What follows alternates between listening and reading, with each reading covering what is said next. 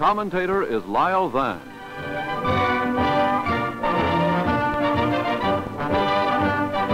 The powerful Japanese naval base at Truk. Bombers, torpedo planes, and Hellcat fighters stand ready for the takeoff as their 2,000 horsepower engines warm up. The fleet is close to the enemy's secret stronghold now and still undetected. The first flight moves to the attack.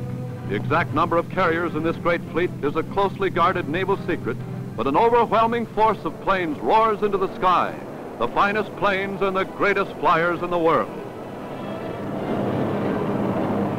There goes the spearhead of the attack.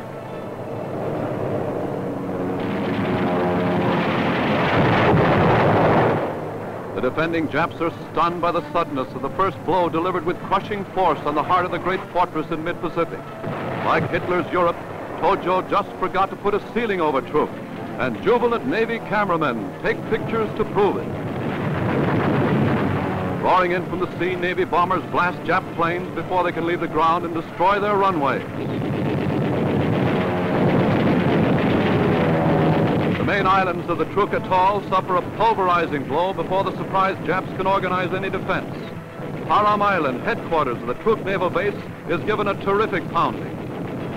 Hellcats, Avengers, and Dauntless dive bombers sweep over in close formation. Wheeling around over the main island, pilots continue the work of destruction by bombing every important part of the great base a base the Japs have been building up for over 20 years into a fortress considered impregnable.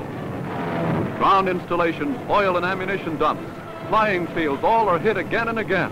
Wherever reconnaissance has shown anything of value to the enemy, Navy bombers place their explosives where they'll do the most good. Every fortified island in the Truk Atoll is given a thorough blasting by a sky armada of overwhelming force that hits the Japs like a bolt from the blue.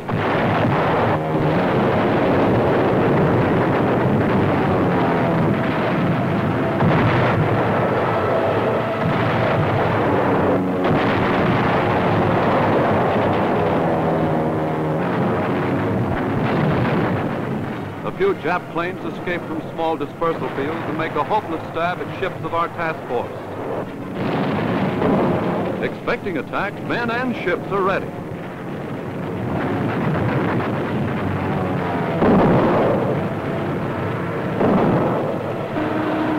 A low-flying Jap torpedo plane meets a curtain of steel from cruisers and destroyers as it attempts to close in.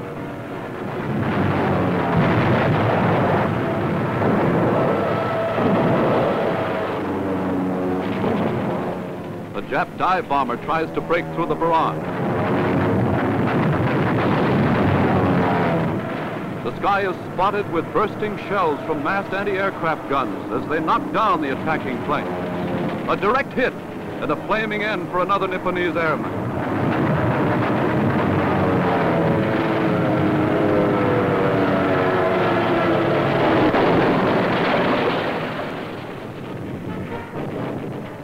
Somber palls of smoke rise from the sea to mark the doom of Jap planes shot from the sky.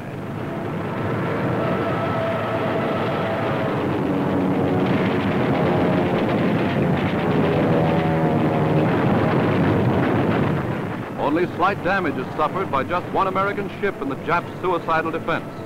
The task force beats off every threat from the skies and boldly continues to steam close to the shore to await the return of its attacking airmen.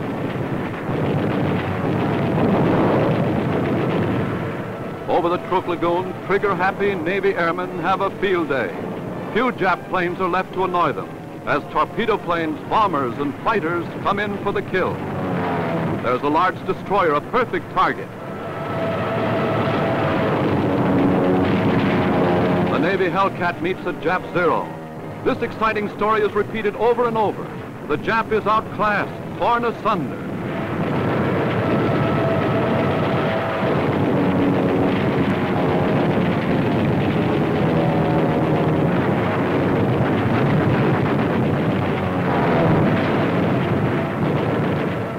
Out of the sky they roar with wing cannon blazing, tearing into ships of every description. Ships that the hard-pressed Japs can ill afford to lose. Nineteen ships in all are positively sunk, with additional ships probably sent to the bottom.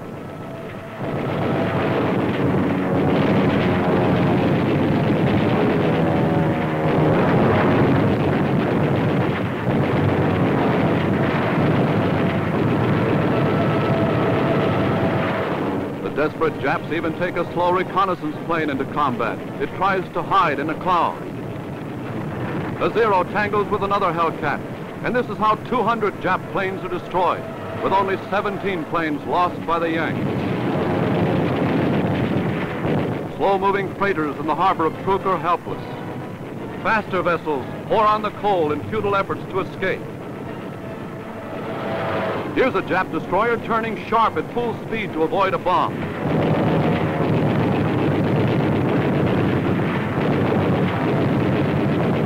Up in the clouds, another Jap pilot seeks the glory of giving his life for the Emperor. So the Navy accommodates him.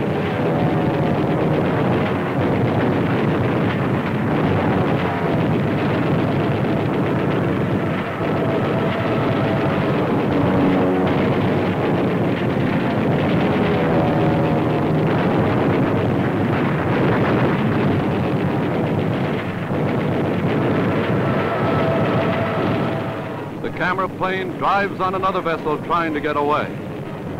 Ship after ship is pounded by explosive shells poured into them in fiery streams of destruction. The big Jap destroyer speeds across the lagoon trying to reach the open sea. A transport gets a direct hit.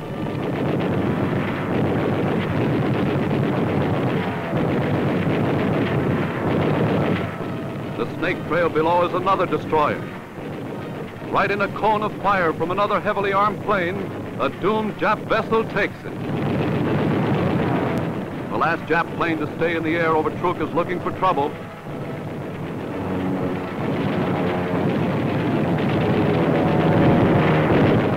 Our intrepid airmen continue the element of surprise and advantage. They deliver the fatal knockout as the two-day assault on Truk nears an end.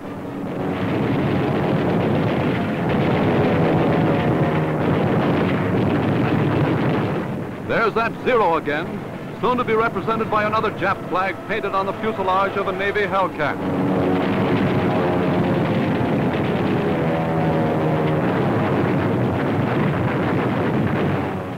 The historic raid on the Jap Pearl Harbor writes finish to Truk as a mid-Pacific enemy base. A crushing defeat so successful that high-ranking Jap officers are ousted by the Nippon High Command.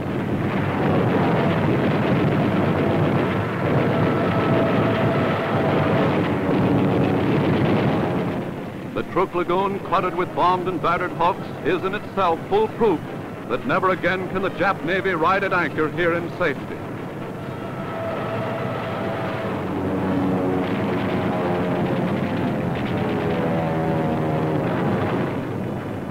The order is heard, return to carriers. Just average American boys, taught to fly, taught to fight, taught to win. One wheel missing, but it's a perfect landing. The wounded are hurriedly taken to the sick bay below, where they receive instant attention. Heroes who will live to fight again.